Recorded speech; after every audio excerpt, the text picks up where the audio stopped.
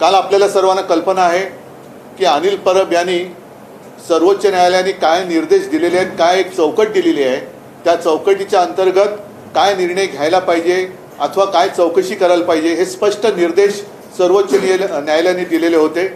ते संपूर्णपणे धाब्यावर बसले पायदळी तुडवले आणि जणू काही आमच्या मागे महाशक्ती आहे आम्ही सर्वोच्च न्यायालयात सुद्धा जुमानत नाही हे आजच्या त्यांच्या न्याया त्या निकालातनं दिसून आलेलं आहे. महत्त्वाचा प्रश्न असा आहे की त्याने अपात्र कोणालाच केलेलं नाहीये. मूळ खटला मूळ केस ही अपात्रतेची होती. अपात्र कोणालाच ठरवलं नाही म्हणजे जर आमची घटना ही तुम्ही ग्राह्य धरत नसाल मग तुम्ही आम्हाला अपात्र का नाही केलं?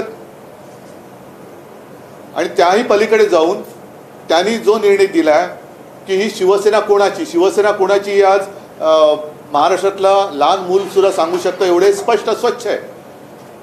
पण निवडणूक आयोगाचा निर्णय जो मुळामध्ये चुकीचा आहे आणि जो सर्वोच्च न्यायालयामध्ये आम्ही त्याला आव्हान दिलेलं आहे तोच त्यांनी ग्राह्य धरला.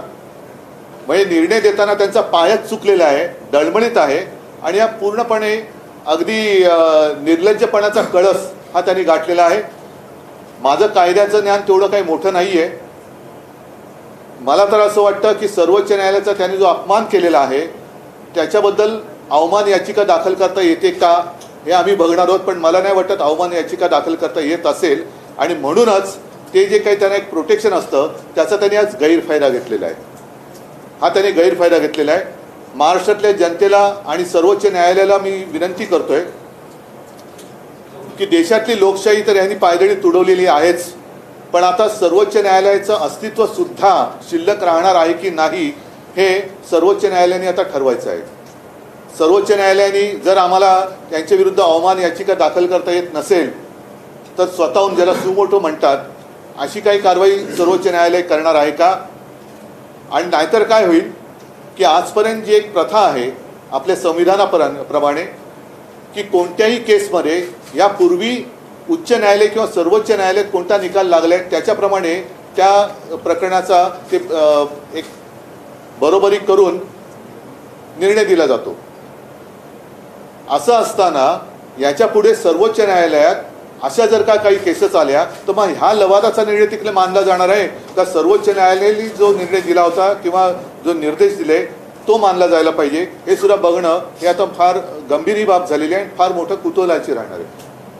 जून दोन हजार अठरा मध्ये जे तुमची नियुक्ती करण्यात आली होती ती नियुक्तीच अवैध आहे असं देखील अध्यक्ष तो त्यांचा अधिकारच नाहीये.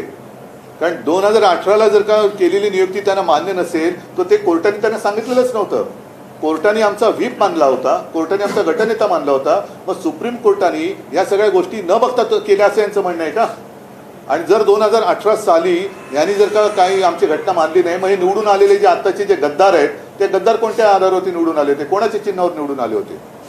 त्याच्यामुळे पक्षप्रमुखाबद्दल ते बरंच काही बोलले पण पक्षप्रमुखाला जर अधिकार नसेल तर पक्षाध्यक्ष म्हणून जे नड्डा बसलेत त्यांना कसेही काही अधिकार नाही आहेत तो त्यांचा अंतर्गत प्रश्न आहे.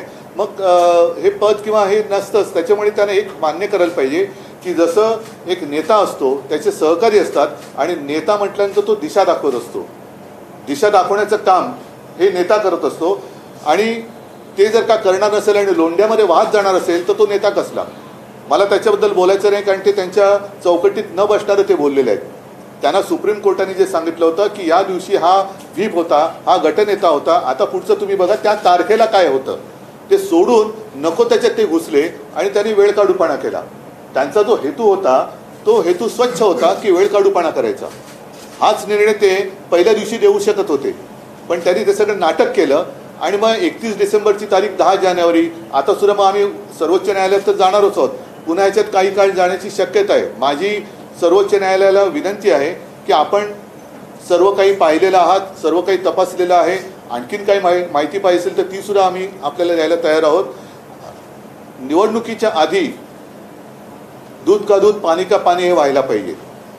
कारण यांना निवडणूक काढायची निवडणुकीमध्ये यांना असं वाटलं होतं की लोकांच्या मनात जनतेच्या मनात मतदारांच्या मनात आपण संभ्रम निर्माण करून शिवसेना संपू. पण शिवसेना काही संपत नाही आहे आणि शिवसेना ही संपणार नाहीच. आणि मिंद्याची किंवा गद्दाराची शिवसेना हे महाराष्ट्रातली जनता आणि देशातली जनता मानणार नाही.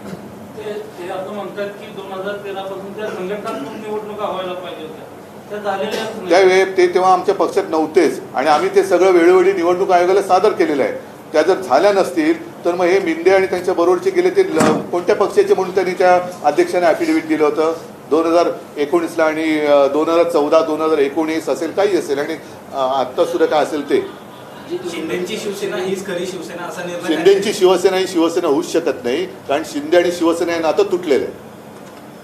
त्याच्यामुळे भले त्यांना त्या मी काल म्हटलं ना की त्यांची मिली बघत होती. ज्याप्रमाणे त्यांनी जाऊन एका न्यायमूर्तीने आरोपीची भेट घेतली दोनदा त्याच वेळेला हे सगळं ठरलेलं होतं. पंतप्रधान जर महाराष्ट्रामध्ये अनिश्चिततेचं वातावरण होतं निकाल काय लागणार? अपेक्षित होता. माहिती होता का? पण तरी देखील पंतप्रधान दौऱ्यावरती येत आहेत. तरी देखील हे डावसला जाणाऱ्यांचा दौरा आधीच जाहीर झालेला आहे. आज पेपरमध्ये आलेला आहे. मग हे कसं काय तुम्हाला आधी कळलं? म्हणजे तुमचं हे सगळं सेटिंग होतं फिक्सिंग होतं मॅच फिक्सिंग होती. आणि आम्ही सर्वोच्च न्यायालयात गेलेलोच आहोत. सर्वोच्च न्यायालयाने एक एक यांचा आदर करण्यासाठी म्हणून त्यांच्याकडे प्रकरण दिलं होतं.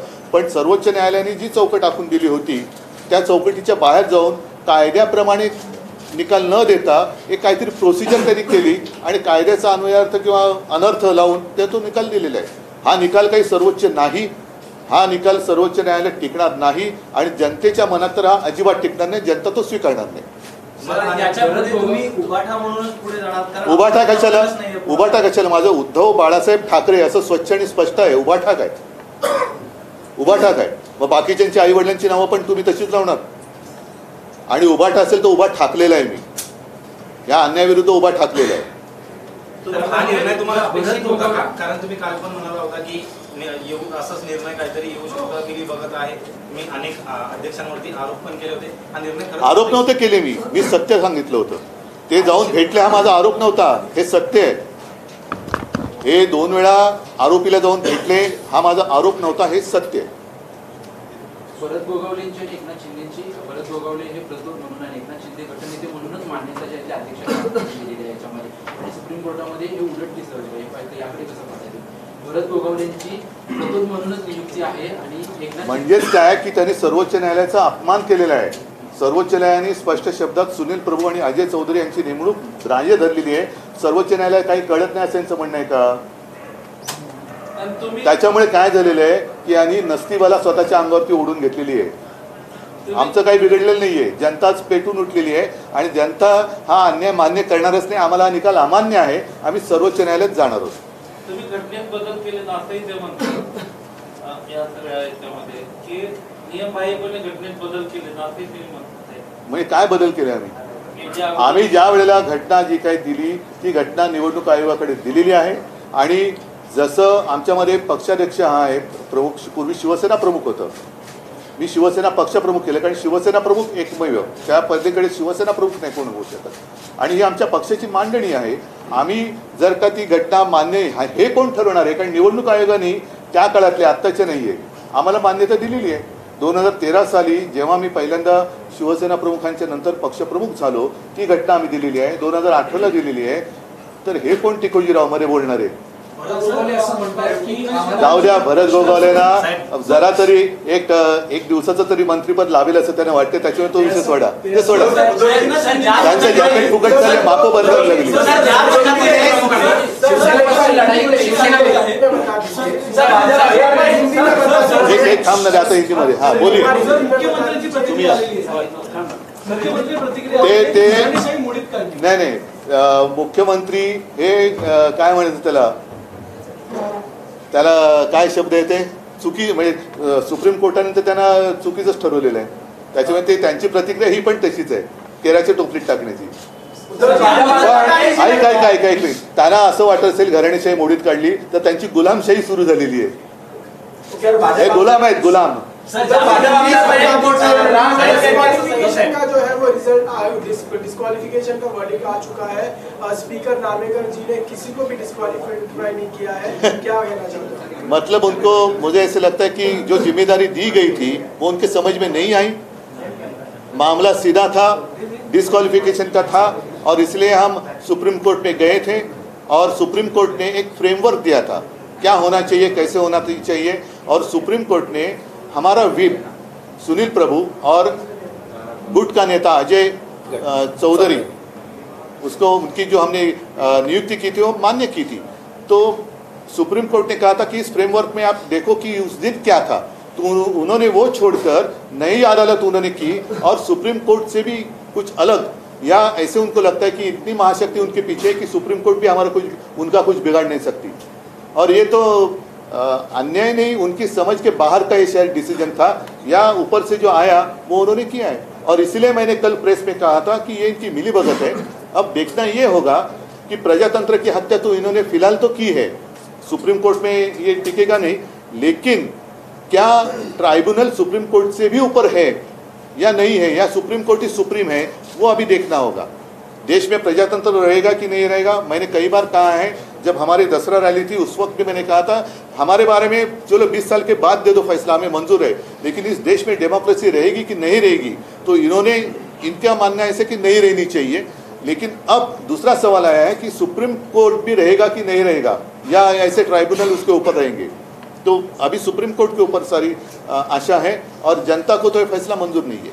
दो, दो, दो चीज़ें इसमें राष्ट्रीय कार्यकारिणी को ही कट्टर नेता को निकालने का अधिकार होता है ऐसा नागरिक ने कहा ये पहला सवाल आपकी घटना में क्या कहा गया है? और 2018 की ठीक है वो लेकिन लेकिन पहले जो गद्दार है वो राष्ट्रीय कार्यकारिणी हो ही नहीं सकती और इसलिए तो हम सुप्रीम कोर्ट में गए मतलब जि- जिसने डाका डाला वही कह रहा कि ये मेरा घर है सर आगे की लड़ाई 2018 कैसे की लड़ेंगे? घटना आपने की। आगे की लड़ाई क्या सिर्फ़ कानूनी होगी और भी कुछ कैसे लड़ेंगे नहीं देखो इनका जो प्रयास है वो सिर्फ़ समय निकालना है। समय निकालना है। और मैंने जैसे पहले कहा कि एक तो पक्षांतर, जो पक्षांतर होता है, पक्ष बदली करने का कानून है, उसको अधिक मज़बूत करना चाहिए था। इन्होंने तो खुलेआम राजमार्ग बना बना दिया, क्योंकि इनको, खुद का अनुभव है। और शायद वो उनका आगे का रास्ता साफ़ कर रहे हैं। आगे भी कुछ और पक्ष में जाना चाहते होंगे शायद। जर ज्या पद्धतीने आपण बघतो की सर्वोच्च न्यायालयामध्ये सुनावणीमध्ये जवळपास वर्षभर केलं त्याच्यानंतर आता राहुल नार्वेकरांनी अध्यक्ष म्हणून वर्षभर काढलं. वर्षभर काढलं आणि ते सुद्धा सुप्रीम कोर्टने जर का त्यांना जर मुदत दिली नसती तर त्याने आणखीन म्हणजे जोपर्यंत मला मला एवढंच आहे म्हणून मी सुप्रीम कोर्टला विनंती करतोय की आपल्यासमोर ह्या सगळ्या गोष्टी झालेल्या आहेत. आपण सगळ्या गोष्टी ऐकून यांना स्पष्ट शब्दात आदेश दिले होते. की या तारखेला सुनील प्रभू आणि हे होते त्या दिवशी काय परिस्थिती ती बघा आणि तसा तुम्ही निर्णय घ्या. तो न घेता त्यांनी त्याच्या बाहेर जाऊन प्रोसिजर बघितली. घटना ये ते ते. त्या दिवशी व्हीप कोणाचा होता? कारण जर तुम्ही मग काय चोरलत? मग चोरलत काय तुम्ही? आणि आजही माझं असं म्हणणं आहे की ह्या लोकांमध्ये हिंमत नाही आहे स्वतःच्या ताकदीवरती स्वतःच्या वडिलांच्या नावावरती हे मतं मागू शकत नाहीत.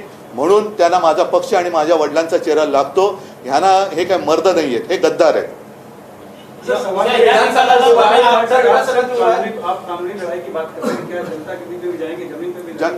ज़रूर जनता के बीच में मैं हम तो जा ही रहे हैं। जैसे आज भी आदित्य कोल्हापुर में उस तरफ़ है। मैं भी तेईस तारीख को नासिक जा रहा हूँ बाईस तारीख को तालाराम मंदिर में जा रहा हूँ। उसके पहले भी कहीं जाऊँगा बाद में जाऊँगा। हम तो जनता में रहे हैं जनता में रहेंगे जनता और जनता के लिए जनता के सा- साथ लेकर जनता को साथ लेकर हम लड़ेंगे। सर विधानसभा